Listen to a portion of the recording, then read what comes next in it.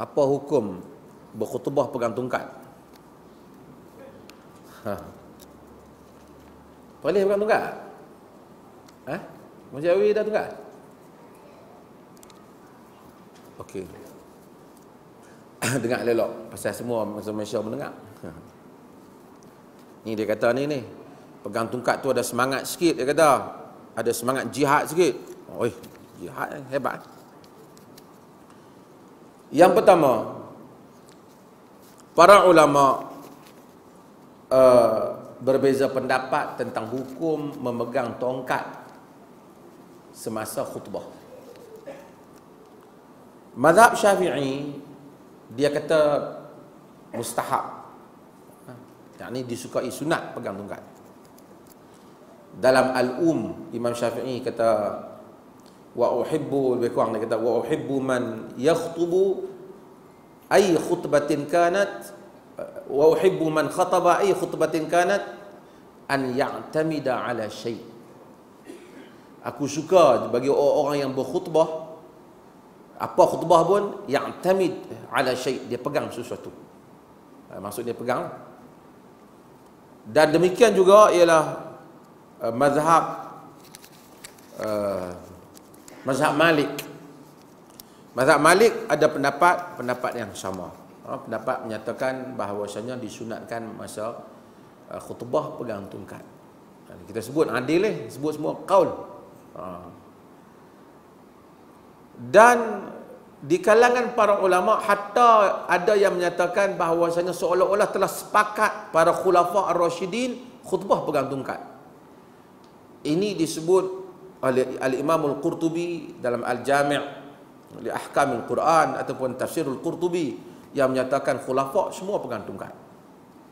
Kata dia.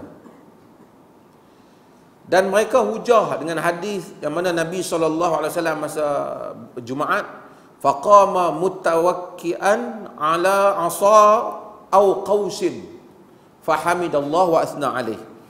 Uh, Nabi ni beriwayat riwayat Abu Daud dalam Sunan Abi Daud uh, faqama uh, mutawakkian uh, ala asa au qaus Nabi ni dia berdiri dan dia apa bukan sana apa pegang kepada uh, kepada uh, uh, tongkat ataupun kepada anak panah. Kemudian dia memuji Allah. Ni cerita tentang sembahyang Jumaat dia memuji Allah dan dia dia memuji Allah dan memuji Allah. Sehingga Ibn Shihab Az-Zuhri, Az-Zuhri ni alim besar. Ha, sebab tu dia dalam ilmu hadis ha, tadi kita sebut uh, Muhammad bin Yahya Az-Zuhri, dia merupakan orang yang pakar tentang ha, anak-anak murid Az-Zuhri.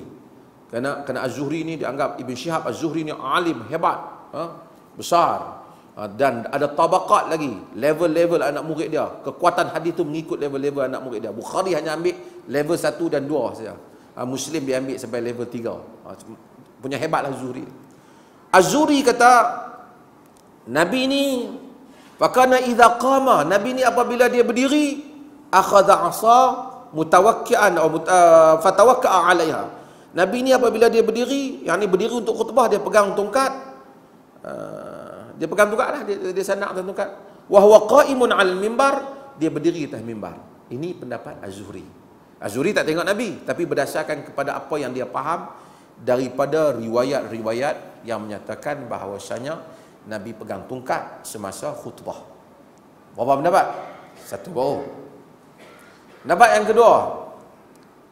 Kata tak mustahab tak disunatkan pegang tongkat Pendapat ini dinukilkan daripada Abu Hanifah dan dinukilkan oleh beberapa orang ulama yang lain.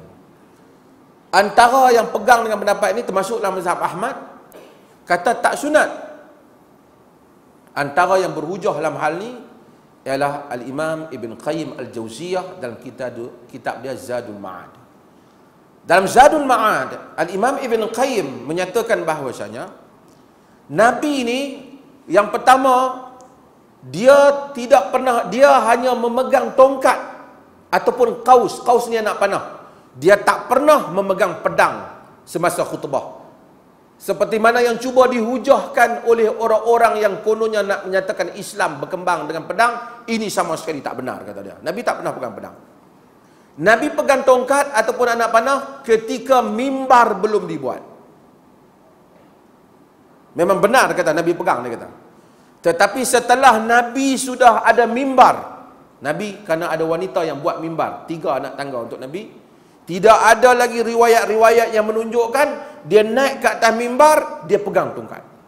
Apa anak anak anak panah? Semua cerita pegang tongkat yang Zuhri semua sebut tu betul, tetapi itu sebelum ada mimbar. Sebelum ada mimbar. Bila dah ada mimbar, tak perlu. Oh, kan? Nak pegang apa, kan? Jadi ini pendapat.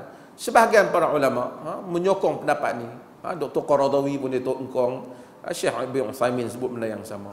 Kalau Tok Imam dah tua sangat dah, naik atas mimbar tu pun duk gayat, peganglah kot. Takut tertemuai ke depan. Tapi kalau dah sehat, kita pakai hak mana Ibn Qayyim sebut, tak perlulah. Ha. Tapi kalau kita tengok ada orang pegang tongkat, kita tak menyatakan itu adalah amalan bid'ah.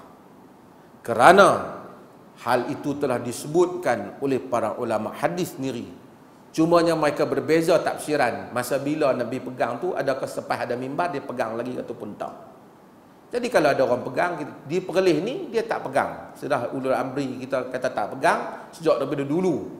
Oh, saya pun seingat saya, saya tak tahulah, seingat saya tak tahulah, tak, saya pun tak semak lagi fatwa dulu-dulu ada tak pasal tungkat ni. Fatwa baru tak ada lah. Tapi kalau tanya saya pasal tungkat ni, inilah jawapannya. Jadi kalau ada orang pegang, tidak salah kerana ada kaul bukan kaul-kaul biasa ini kaul imam-imam yang besar ha? dan kalau ada orang yang tak pegang di atas penghujahan tadi ha? di atas penghujahan tadi tapi kalau nak naik kadang-kadang mimbar tu dah dah sampai tutup dah depan. Kita pegang tungkat pun bukan siapa nampak apa kan? Kadang-kadang cergah lagi. Kata Dr. Yusuf Al-Qardawi kalau masa berjalan biasa pun masa muda-muda aku tak pegang tungkat. Pasal apa? Naik atas mimbar tiba-tiba nampak lemah sangat nak pegang tungkat. Ha, jadi tak berantungkan ha? jadi tak apalah. Ini adalah pandangan. Cuma memegang pedang ataupun pegang senapang seperti yang ditunjuk oleh geng-geng ISIS kononnya Nabi menunjukkan kekuatan sama sekali kata Ibn Qayyim tidak pernah dilakukan oleh Nabi SAW ini tabiat dinur rahmah din yang rahmat dia bukan mengugut orang dengan senjata khutbah memberikan ingatan ha, kepada orang Nabi SAW dia khutbah. Ha, Nabi ni dia khutbah. Itu kita tak bagi latihan khutbah. Nabi ni idza yakhutub kan, kan ihmarrat wajhu ihmarrat ainahu. Merah matanya. Wa ala sautuhu. Tinggi suara dia. Wastadda ghadabuhu. Cengih. Apa? Marahnya. Masuk bersemangat dia. Ka'annahu munziru jaishin. Seakan-akan dia mengarahkan tentera. Dalam hadis. Itu pun ikut tajuk uh, ada bab sahabat bila dengar Nabi khutbah semua menangis kat bawah. Ada hari semangat. Jadi macam itulah orang khutbah. Uh, semangat. Kita tulis kan yang jadi kena semangatlah masalah rakyat Palestin yang telah dibunuh Allah kita pun tak dengar apa dia ni bunyi tin-tin kat ujung ni. So, semangat dia. Sallallahu alaihi wasallam. Tapi Nabi itu rahmat. Ha, ini cuma nak tegur. Nabi ini pemidato. Tetapi Nabi lam yakun fahashan wala la'ana. Dia tidak fahash. Dia tak sebut perkataan kotor. Dia tak la'nat orang. Ceramah, maki orang. Dia tak buat kerja ni. Nak marah-marah, nak sebut sekali lagi. Nabi tak ceramah maki orang. Nak kritik, Nabi boleh kritik. Tapi Nabi ini memilih perkataan yang baik. Kritik tak apa, tapi memilih. Dalam hadis yang diriwayatkan oleh Al-Imam Al-Tabarani. Ha, Nabi tengok satu orang ansar. Dalam cakap tak elok dalam majlis. Nabi kata sibabul mu'min, sibabul muslim fusuq wa qitaluhu kufur. Maki orang muslim itu fasik dan memerangi mereka kufur. Kadang-kadang kita ni ada soalan dia tadi. Tuan-tuan, kena, kena, dia kata kita kena tegas macam dengan Sayyidina Umar bin Khattab dalam dakwah. Nah, Umar tegas tapi dia tak maki orang. Kadang-kadang orang, ha, Nabi SAW, Yahudi, Yahudi. Yahudi yang kita nak sebut, ha, nama hadis. Dia mari, Assalamualaikum ya Muhammad. Assalamualaikum ya Muhammad. Bunyi macam Assalamualaikum ya Muhammad. Tapi dia kata Assalamualaikum ya Muhammad. Maut kepadamu ya Muhammad. Sam, maut. Nabi kata waalaikum ke atas kamu. Ha? Aisyah dengar, Aisyah dengar, Aisyah muda, telinga okey. Kan? Ha? Aisyah kata Assamu wal la'nah maut dan laknat kepada hamba. Maut assamu wal la'nah alaikum. Maut dan laknat kepada kamu. Curse Nabi kata mahlan ya Aisyah. Inna Allah yuhibbu rifqa fil amri kullih. Nanti dulu wahai Aisyah, Tuhan sukakan sifat yang santun, lunak dalam semua perkara. Kata, "Ama sami'ta ya Rasulullah?" Rasulullah kau tak dengar ke dia kata apa? Sami'qan ajab. Aku dengar, aku kan jawab tadi waalaikum kepada kamu. Tapi aku tak mau sebut benda-benda tak elok ni. Nabi yang santun. Nabi yang santun. Lepas tu kita habak, kita nak menegakkan hukum Nabi. Ceramah maki orang. Nabi yang santun. Nak kata jangan kaitkan dengan Umar bin Khattab radhiyallahu an. Umar pertama Umar Amirul Mukminin, dia pemerintah. Tapi dia tak maki orang. Memanglah ada orang yang dia pukul. Pad Padahal pasal dia pemerintah zaman dulu bukan ada penjara banyak-banyak macam kita. Nak bagi denda RM60, RM70, RM100, tak ada. Kadang-kadang Umar pukul dengan turap dah. Pukul. Tapi Umar tu paling takwa kepada Allah kata Syifa binti Abdullah. Kadang-kadang sebab tu ni nak ingat diri saya lah tuan-tuan. Masalah ni ni. Ni dekat-dekat pilihan raya ni macam-macam kan. Nak cakap kita jaga tak apalah orang nak kritik. Tapi Nabi kata atadruna manil muflis dalam hadis yang diriwayatkan oleh Imam Muslim dan sahih. Kamu tahu tak siapa muflis? Bankrupt. Ni satu per empat ayat Malaysia dikatakan bankrupt. atadruna manil muflis? Siapa kamu tahu siapa muflis?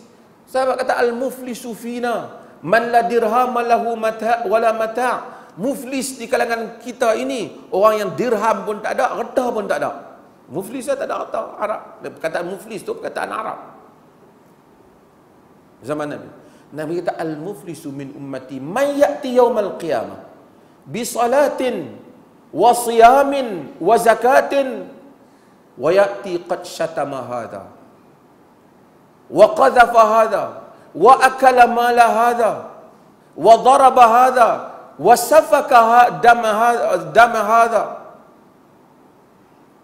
yang fayuqta nabi kata yang muflis di kalangan umatku ialah orang yang datang pada hari kiamat dengan puasa dengan solat solat bagus. Puasa bagus. Zakat. Tapi maki orang ni. Tuduh orang ni. Zina lah apa. Ambil harta orang. Ni ambil harta orang. Pukul orang tumpahkan darah orang. Fa hadza min hasanatihi wa hadza min hasanatihi. Ambil pahala dia yang banyak tu bagi kat orang ni bagi kat orang ni kata nabi. Fa in faniyat hasanatuhu qabla an yuqda ma alaihi. Sekiranya telah habis pahalanya sebelum dia dapat selesaikan hutang-hutang dosa-dosa yang dia buat pada orang. Ukhidha min khatayahum. Ambil dosa-dosa mereka faturihat alaihi. Bubuh atas kepala dia. Summa turiha finnar. Kemudian ambil dia bubuh dalam neraka. Naudzubillah. Naudzubillah. Jangan maki orang. Nak ceramah ceramahlah habaqlah ni ceramah maki orang. Patu selawat sallallahu. Oh. nak tegas-tegas Nabi yang tinggi suara tapi Nabi tak maki cakap elok-elok